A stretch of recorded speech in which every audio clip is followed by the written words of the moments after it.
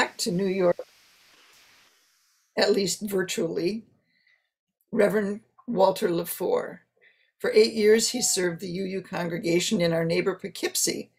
And on a special note for me, Walter's wife is my friend of many years and many joys, Yvette. And I'm so I got to say hi to her this morning, and that was extraordinary. I'm delighted that Reverend Walter is here with this morning, and he's going to share his thoughts on our first and last Unitarian principles. Reverend Walter? Thank you, thank you. And I just want to note that uh, Linda's notion of seeing Yvette, whom I didn't know they knew each other, speaks to how small the world is. I hope the title of my sermon today the last shall be first, and the first last, might prompt you to think of one of the more memorable verses in the Bible.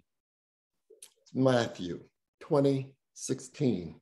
I went and looked it up to make sure I was quoting the verse correctly. The verse has universal meaning. This morning, I want to hold up the importance of universality, but more specifically, universal, universalism. The backstory of the verse is about a landowner who hired laborers to work in the vineyard. Some were hired early in the day, others hired later at different times during the same day. So at the end of the day, the landowner paid those hired during the latter part of the day, he paid them first they receive the same compensation as those who were hired earlier in the day. Not surprisingly, those who were hired first, those who had worked the longest hours, they complained. Say, whoa, wait, just a minute. I worked all day. Those guys only worked a few hours, yet, yet you paid them the same as me. Landowner explained they were being paid a full day's wages. So I said, What's the fuss? You're getting exactly what we agreed to when you were hired. You're not getting cheated out of anything. He told them that his money was his money and that he had the right to be generous if he chose. The following verses in Matthew do not tell us whether or not that satisfied those particular laborers. I think there's a wonderful parable that speaks to universalism. Universalism is a philosophical, a theological orientation that speaks to a fundamental truth, universal, reconciliation. Theologically, it speaks to a belief that all can be saved and restored to right relation with God. Now, I have no interest in a theological argument about the veracity of the claim. I simply want to hold up the concept because I believe it has a significant impact in how we live our lives, how we perceive and interact with others. It's the real life implication, the real life application that I think is important for us to contemplate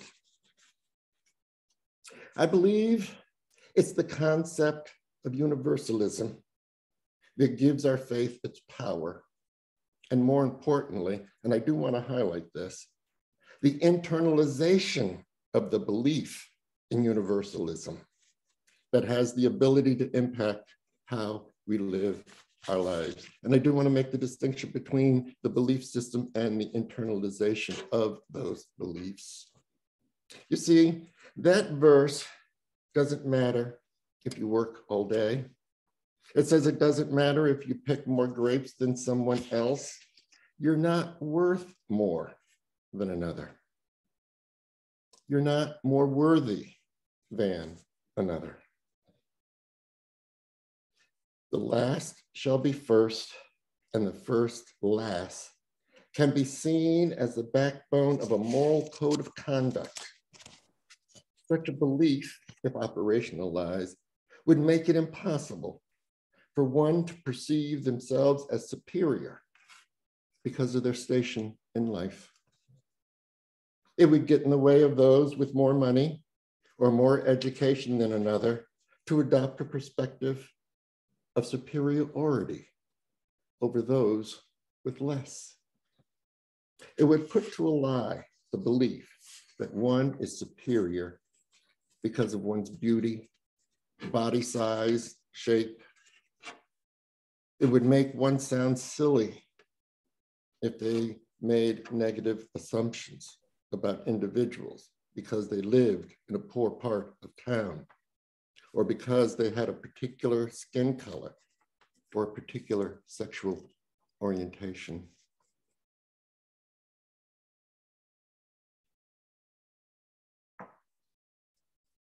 Beliefs of superiority and inferiority get in the way of unity. They impede notions of equality. They separate us one from another. They can blind us to the other's humanity. The so called right and the so called left, for example. I associate the theological concept of universalism with our seventh principle.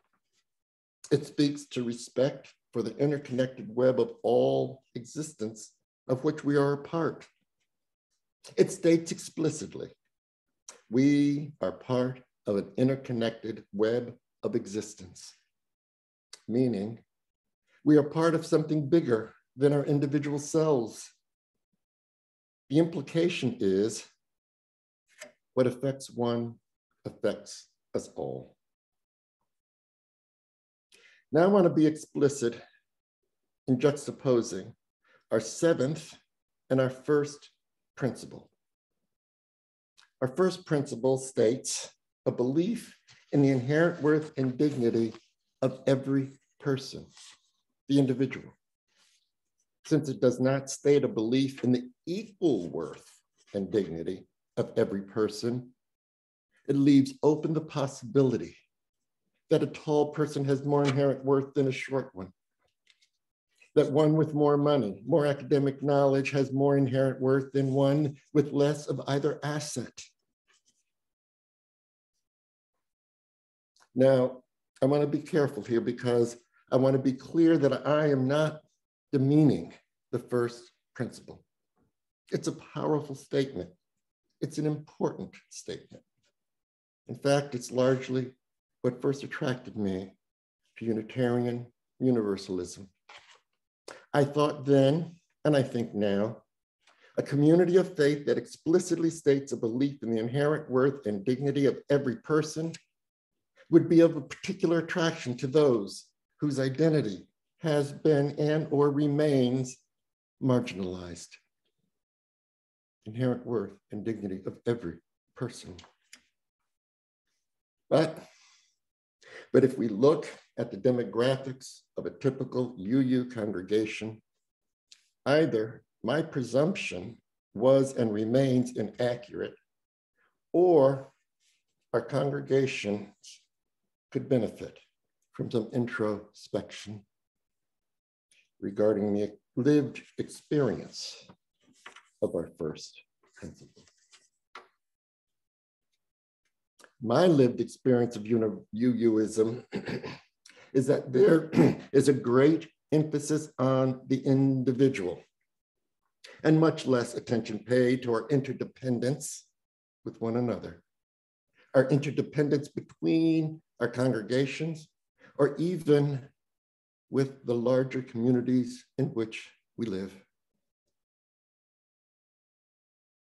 When I've stepped back and attempted to analyze our overarching dynamics, my observations don't surprise me. They do disappoint me sometimes, but they don't surprise. You see, UUism grew up largely during the age of the Enlightenment. I think, therefore I am. I think, therefore I am. It's a powerful and important construct, folks, but it's flawed. It's ushered in a separation of mind and body, a separation of body and the external. It grounds one's very existence in the thinking mind, a unique and separate mind, the place where our egos reside. It implies one does not have nor requires a connection with the external. So if I am because I think is a foundational notion, it makes perfect sense. One would highly value and vigorously defend one's thoughts and one's beliefs as if one's life depended on it. Such does not bode well for sense of community, a sense of inclusion, acceptance. I want to hold up an alternative narrative, perhaps best framed by the phrase, I am because we are. The concept is captured in the African term Ubuntu.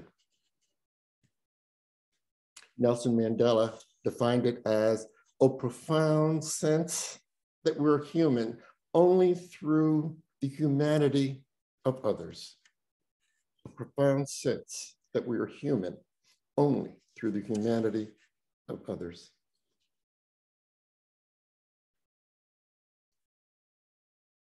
That concept, that phrase, the primary reference point is the other, interrelatedness, not personal thought or belief.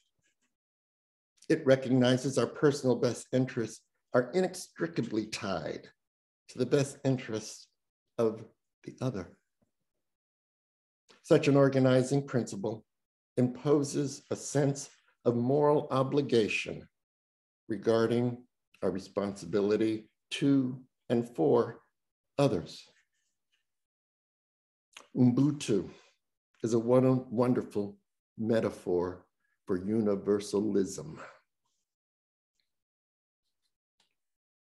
As I close, I want to highlight that our seventh principle should be a gift Unitarian Universalism brings to the world. And we should be proud of it and be intentional in sharing that belief system. Our world has been in crisis as of a result of this COVID virus. The expert told us some time ago the primary tool we have to combat its powerful impact is to minimize the spread of the infection. That each of us must play a role to minimize the spread of the disease. If inherent worth and dignity of every person is one's primary reference point. We run and have run a grave risk that each person will maximize their own worth and dignity, give preference to their own wants, their own needs, with potentially catastrophic consequences. What is and has been needed is for each of us to recognize and be driven by the notion I am because we are. With this as a primary reference point, decisions are made based on what's in the best interest of the whole, the best interest of the web, not what's best for me, myself, and I. We would self quarantine, not because we like it, but because we are driven by a moral obligation to the greater good.